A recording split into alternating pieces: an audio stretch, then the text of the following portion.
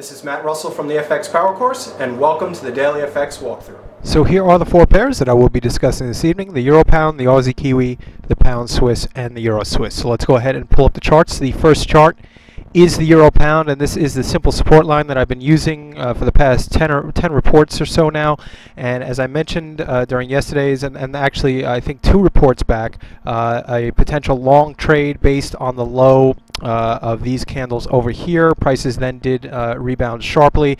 And if you're in this trade I would continue to hold the trade and target this upper uh, previous support line which should now act as resistance moving forward. However, uh, the thing to think about here is if you you're flat and you have no position, the stop should be located just beneath that 80 figure, uh, excuse me, that 88 figure. Um, so right now prices are a little bit too far away to justify a favorable risk reward. So if you are flat, I would just sit on the sidelines. The next chart is the Aussie Kiwi. Not much has changed here. Again, that, that bounce off that 38.2 fib continues. I've been speaking about uh, forever now, uh, at least for the past 10 or 15 reports. Uh, so moving forward now, I was mentioning during the past several reports that I'm looking for a potential for a short trade to set up here.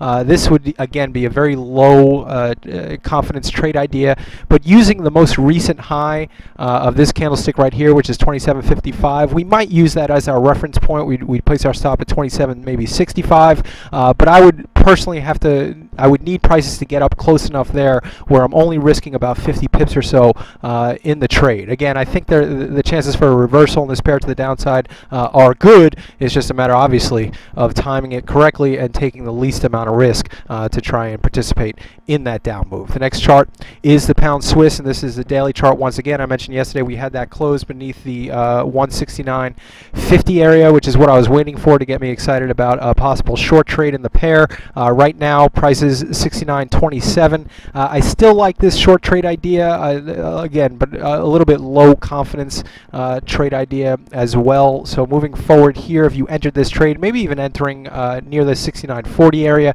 placing our, your stop maybe just beneath that 170 figure. Again, keeping that risk low, uh, but if, if the pair does reverse and move down here, the target would be this longer term support line, and that's a, you know, about a 500 pip move. So the reward is very high, and it's worth the, the risk in my mind. Even if, let's say, there's a 30% chance of the trade working out, if you're only risking 50 pips and you're making 500 pips, uh, the odds are in your favor. The next chart is the Euro Swiss, and not much has changed here either. Uh, as I was mentioning, this is a longer term resistance line. This is a bull flag pattern which prices have broken out from. Uh, I'm not ve not very confident only because prices are kind of going sideways here. What you want to see from a bull flag is prices exploding and hitting this candlestick maybe two or three candles after the breakout. Obviously that that, that has not occurred here.